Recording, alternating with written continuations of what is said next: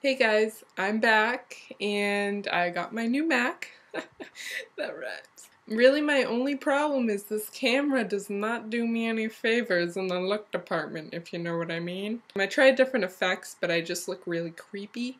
And I brought this beautiful hat, maybe to do me some justice, but guess what? Guess who looks like a trucker? Me.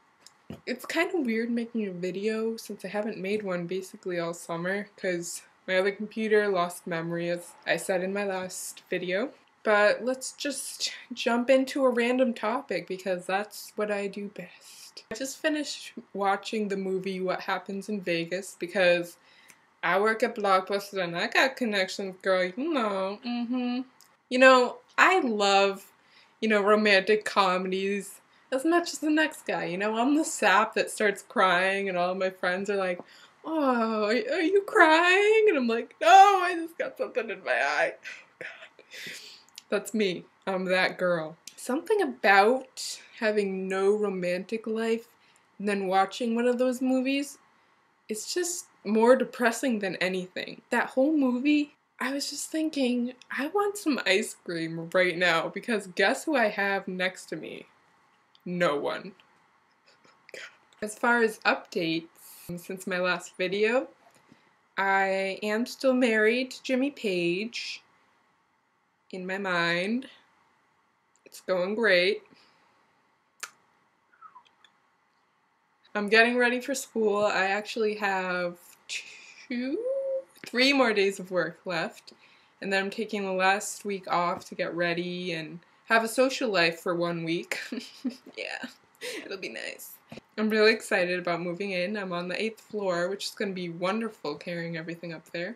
I'm excited, you know, I, I'm going to miss home, but let me tell you, once you have gone to college for your freshman year, even your first semester, once you go home, you're like, yeah, I missed you guys. Okay, I want to go back now. you know, it's so weird at home. You, you suddenly have no friends. But anyway, since this is just me talking and about 90% of you probably don't give two shits, I just want to end off on this last little note. One of my really good friends, Elric, left for the army a couple weeks ago. And I just want to wish him the best of luck. I know he probably won't see this till at least October, but I really miss him.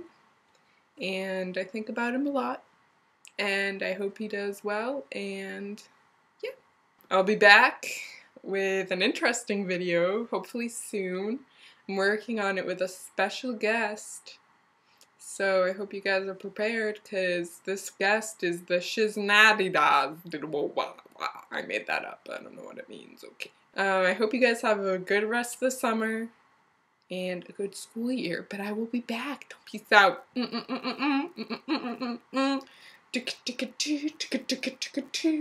Sorry, I had to make my own outro because I have to still transfer all my stuff over to this computer, so just just pretend like that wasn't really odd. Bye!